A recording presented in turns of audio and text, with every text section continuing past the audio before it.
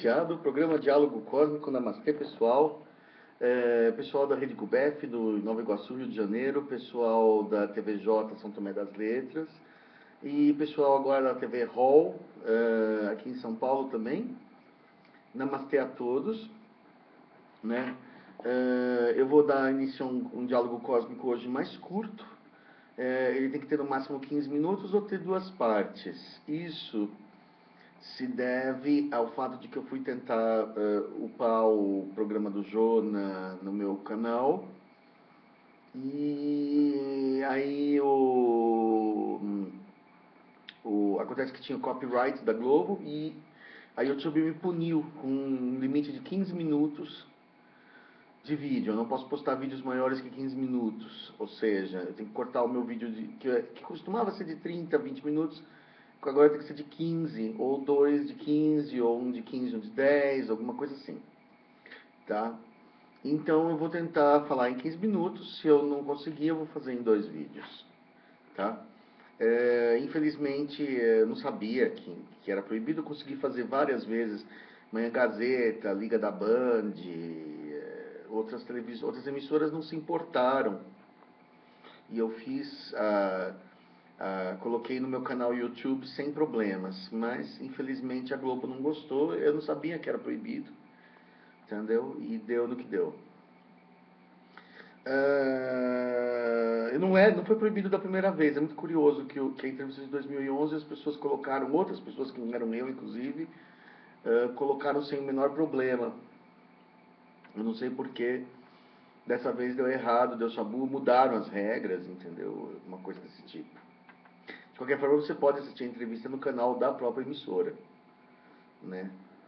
O meu vídeo da entrevista do Jô está disponível. Para as pessoas que estão me perguntando que querem assistir, está disponível na emissora. É o dia 8 de setembro de 2014. 8 do, 8 do, 8 do 9 de 2014.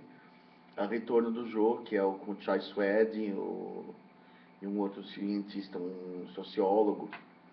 Entendeu? Tá bom? Então tá, então hoje eu vou falar sobre uma coisa que se chamou o caso Copley Woods. O encontro de Indiana, né? A Debbie Jordan Cowbley. Cowbley parece um nome alemão, K-U-K-A-U-B-L-E. O nome, ela é conhecida mais como Debbie. Debbie é abreviação de Débora, né? Debbie com dois Bs. Jordan, de Rio Jordão, Jordan.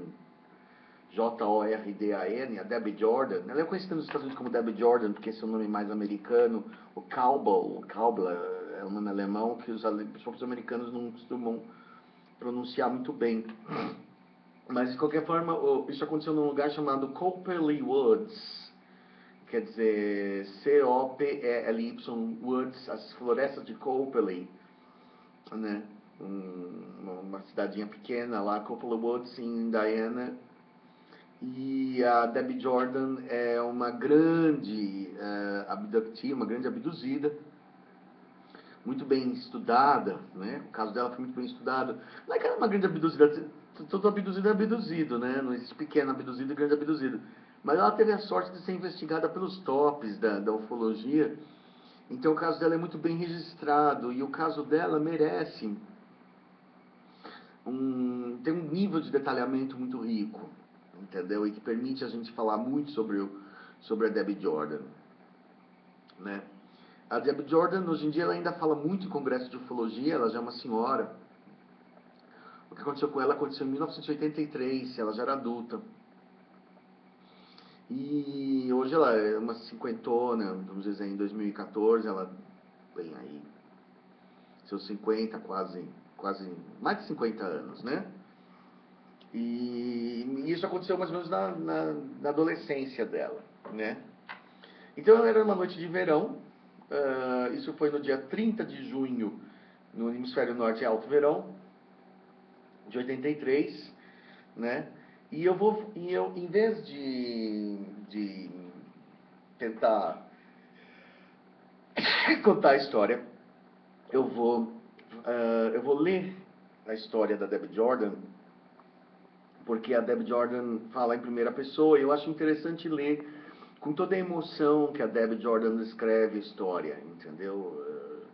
A Debbie Jordan ela descreve com muita riqueza de detalhes e com muito sentimento o que aconteceu com ela, o que foi levantado na hipnose, o que surgiu depois. Então vamos lá. A Debbie falando, não eu mais. Eu vou lendo e vou comentando. Em 30 de junho de 1983, eu me encontrei face a face com uma coisa não explicável até agora. Eu me sempre me senti, eu sempre senti que uma parte de mim morreu naquele dia e que um novo eu emergiu naquela garagem. Foi numa garagem que ela foi abduzida. Para aqueles que estão não são familiares comigo a minha história ou por esse assunto, eu escrevi nesse, nesse website e eu vou contar sobre os eventos daquela noite mais uma vez. Quer dizer, é aquele saco de contar milhões de vezes a mesma história. Principalmente se no caso dela foi uma abdução só, ficar contando aquilo de novo, de novo, de novo, de novo, de novo. Né? Vamos lá. Meus dois pequenos filhos e eu estávamos morando com meus pais naquela época. Naquela época eu estava fazendo um pouco de dinheiro, pouquíssimo dinheiro, cortando roupas, trajes para um vizinho que fazia e vendia fantasias. Meu pai trabalhava no, no, no turno noturno numa fábrica automotiva. Mamãe e os meninos tinham acabado algumas, uh, tinham acabado de comer uma galinha frita para jantar Quer dizer, ela não era rica nem nada, ela tinha uma vida simples. Uh, e ela estava lavando a gordura da galinha das minhas mãos quando eu saí para ir para casa dos meus vizinhos para cortar mais um pouco daqueles, daquelas fantasias. Ela, ela era costureira. Ela vivia um, eles viviam uma, na quadra de baixo, né? E na rua atrás de nós e não seria longe, né? Mas eu não teria, é, eu não queria ficar longe caso os meninos dessem trabalho para minha mãe. Quer dizer, ela, ela ficava meio que entre as duas casas, a casa dela mesmo e a casa das crianças. Que estavam as crianças e a mãe, a, a, a avó, né, no caso. É, aí, como eu estava em pé na, na cozinha da, na, na, na, na pia da cozinha e olhei simplesmente sem um objetivo qualquer pela janela, percebi uma luz estranha saindo da bomba, da casinha da bomba da piscina. Quer dizer, tinha a casinha da bomba da piscina e saiu uma coisa de trás. Eu sabia que a, a, a porta tinha que estar fechada, porque eu, eu, eu, eu, tinha brigado bastante com aquele, com aquele com, com o cadeado que fechava a casa. E eu me lembro que aquilo estava, que aquela casa de, casinha de piscina estava muito bem fechada, quer dizer, ela tinha, ela não entendia como é que a bola, uma bola de luz saía dali, o que, que era aquilo. Uma sonda, né? Quando a gente vê um pequeno UFO do tamanho de uma de uma bola de basquete, de, de beisebol, de, basquete, de basquetebol ou de ou de uma laranja, é uma sonda, quer dizer, é uma coisa que estava investigando o ambiente antes de uma abdução, ou antes de um encontro, antes de uma visitação. Mas eu não sabia de nada disso. Né? Eu não sabia nada de ufologia, não sabia. Estava mais cega que. Estava mais, mais por fora que cego em tiroteio. E aí. Uh, ela lembra de ter colocado uh, cloro de piscina na, na, na, na, piscina naqueles dias, né? E que ela sabia que a porta estava muito bem fechada que ela trancava. Eh, nos Estados Unidos tem muitos aqueles esquilos, guaxinins e tal, então acho que fechava, fechava bem para evitar um bichinho entrar ali, se prender naquele, naquela maquinário, morrer, dar, dar um problema, né? É, bom, estava ficando escuro lá fora e a luz é, estranha realmente chamou minha atenção. Não era como uma lâmpada incandescente era mais como uma lâmpada fluorescente branca de luz fria. Isso é uma coisa que você vai perceber em ufologia. Por exemplo, geralmente, não sempre, tá? Mas geralmente a luz da, da, da, da, da, da, da, da de um UFO ou de uma sonda, ela não machuca os olhos. Ela não costuma ser uma luz muito forte. Ela costuma ser uma luz mais sutil uma luz como uma luz da lua. Você olha para a lua, você não queima os olhos. Se você olhar para o sol, você queima os olhos. Mas a luz da lua, por ser um reflexo, né, é, não, costuma ser, não costuma ferir os olhos. E, eu, e esse negócio não machucava os olhos, tinha aquele brilho de luz incandescente. Quando você olha para uma lâmpada, uma lâmpada fluorescente, quando você olha para uma lâmpada fluorescente, não machuca os olhos.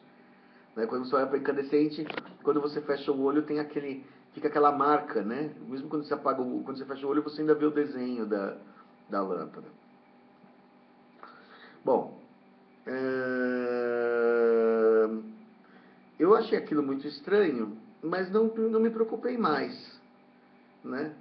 Eu já tinha fechado as portas e sabia que minha mãe me chamaria se fosse necessário. é engraçado isso, né? Porque o UFO, isso é uma coisa que eu também falo para as pessoas. O UFO, às vezes, ele não é tão chocante, entendeu? Assim, às vezes não, não vem um ET de cara. Então, por exemplo, você vê uma luz ao longe, pensa, é um carro, é uma bicicleta, é um avião, entendeu? Assim, nem sempre, nem sempre é uma coisa tão assim espetacular que você vai gritar e notar que é um disco voador. Às vezes não é tão explícito assim.